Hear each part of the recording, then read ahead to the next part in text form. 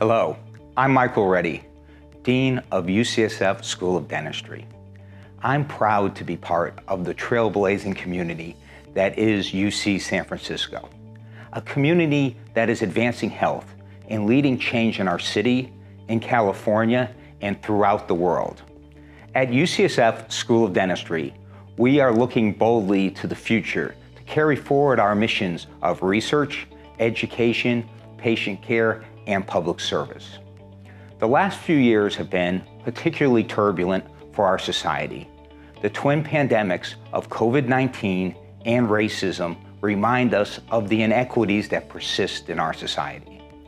We have also witnessed rollbacks in human rights and growing polarization in our country. Meanwhile, climate change continues to pose serious threats to our health. But as history reminds us, times of stress can be harnessed to bring about positive transformation. They lead to a sense of urgency for us to think differently about the future, to move forward creatively and achieve more. We are facing down tough problems and working together to develop advances that make the world a better place. Take, for example, our research mission. In the lab, in the clinics, and in the community, our researchers are making strides every day to better understand how oral and craniofacial conditions impact our vitality and longevity. There are many mysteries that remain to be solved, and it is our curious, tenacious, and brilliant researchers who hold the keys to unlocking them. They are the foundation that propels UCSF School of Dentistry to number one among dental schools in funding from the National Institutes of Health, a position we've proudly held for a quarter of a century. This pursuit of new knowledge is a constant here at UCSF Dentistry, and it is what helps us continually advance not just oral health, but health overall.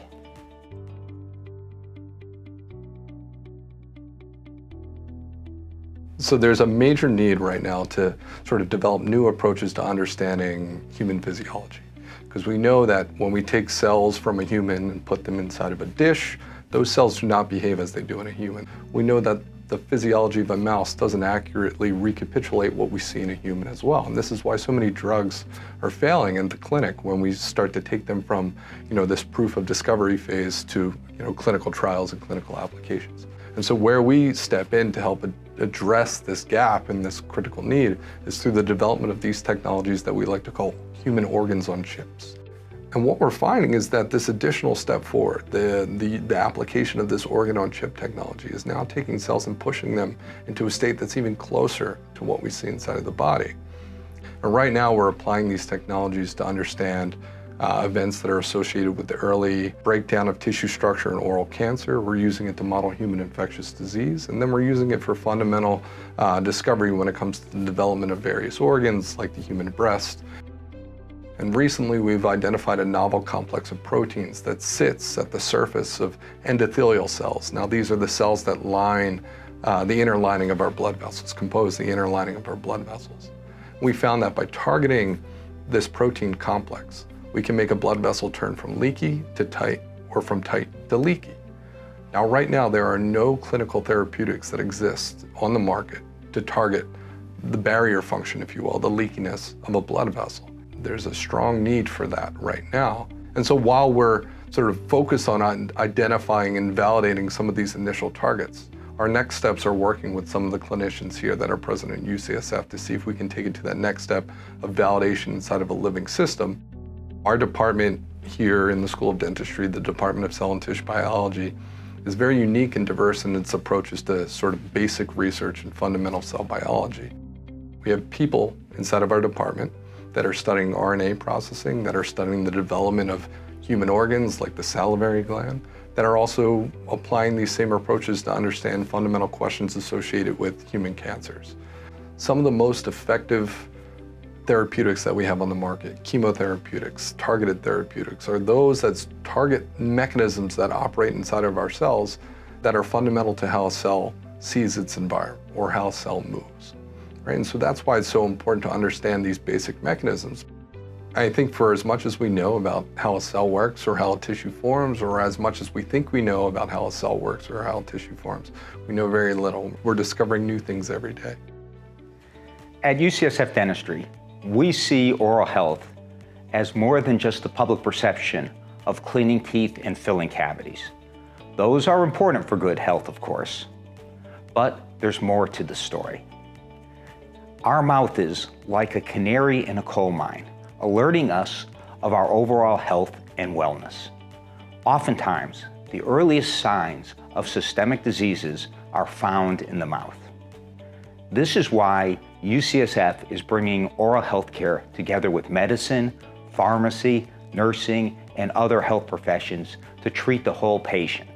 Thanks to our partnership with UCSF Health and support from our colleagues across the university, we have made great strides in achieving our vision for a fully integrated approach to healthcare delivery. In December 2022, UCSF Dentistry moved onto a common electronic health record with UCSF Health. This put the patient's healthcare information in one place that is easy for them and their entire healthcare team to access. In the future, this connection will enhance our ability to use data-driven techniques to make diagnoses and treatments more predictive, precise, and personalized. Ultimately, we will achieve better outcomes for patients. Healthcare for education, as well as health science research, will be similarly transformed through the inextricable linkages between oral health and overall health.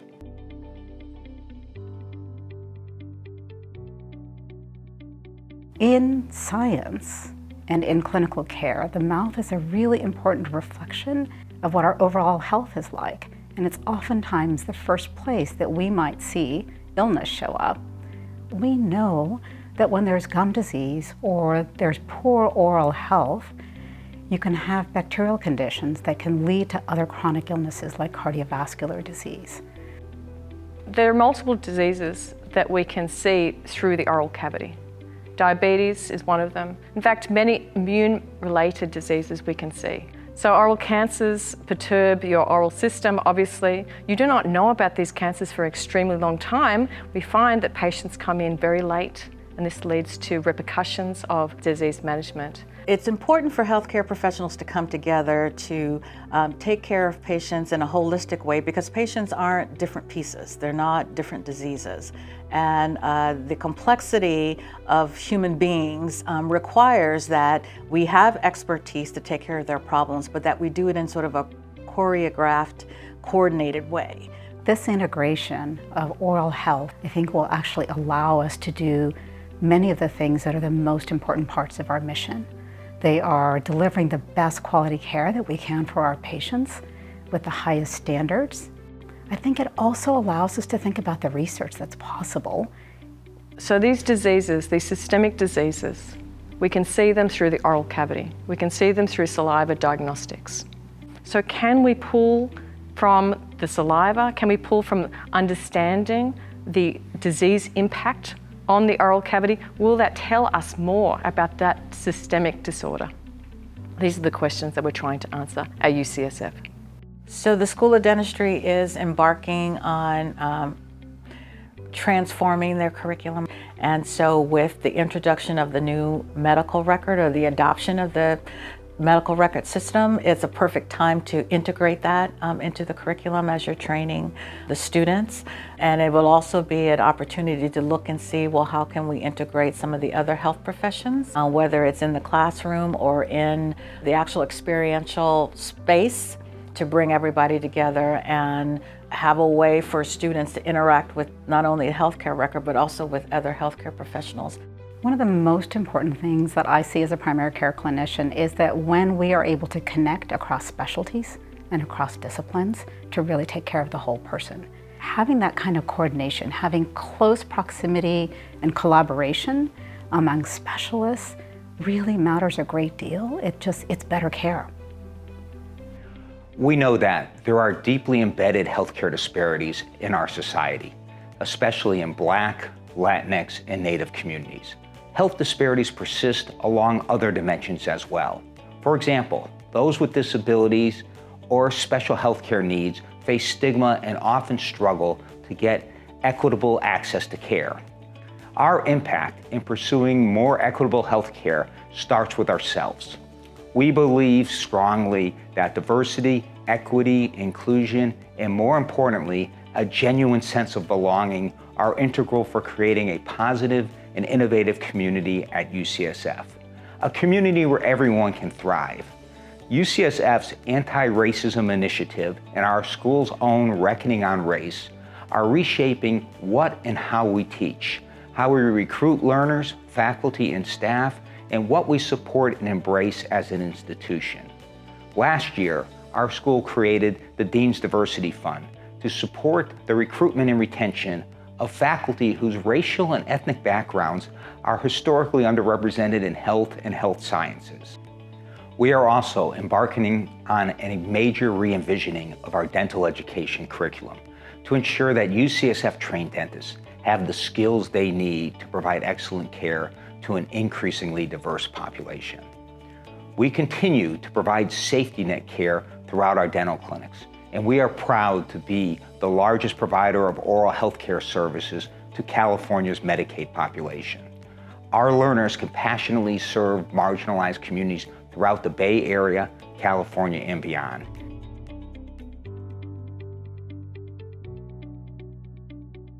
So one of the biggest disparities that we see is access to care and access to best practices. The vulnerable populations, the immigrants, refugees, low-income populations, they really aren't getting access and regular access to even the, the basic uh, interventions that we know really can make a huge difference in uh, oral health quality of life.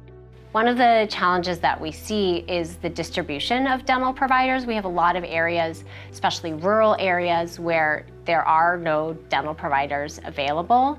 And if there are dental providers, they may not take Medi-Cal Dental and uh, public insurance program. UCSF works on coming up with creative ways to increase access to care for these rural communities and other areas that do not have lot of dental providers. One of the programs that we have is a virtual dental home where we partner with uh, local dental providers like a registered dental hygienist in alternative practice who can do the screenings and some of the basic treatments. And we also bring a lot of our dental students and our dental residents out to different communities to increase access to care that way as well. UCSF in particular is collaborating to actually bridge that gap uh, so that you know the care, oral health care, is more equitable to the underserved population. Community-based clinical education is a program for our third and final year students. Our final year students actually uh, get to go uh, into the communities, underserved communities, and actually go through a rotation of six weeks. So I think uh, we are making um, our students more well-rounded by doing this. So when they get out, um, you know, when they actually graduate from school, they have many opportunities. They really uh, get a good flavor of dental public health to get out and hopefully help these populations, uh, you know, when they graduate from here. When I came to dental school at UCSF, I realized I also had a passion for public health.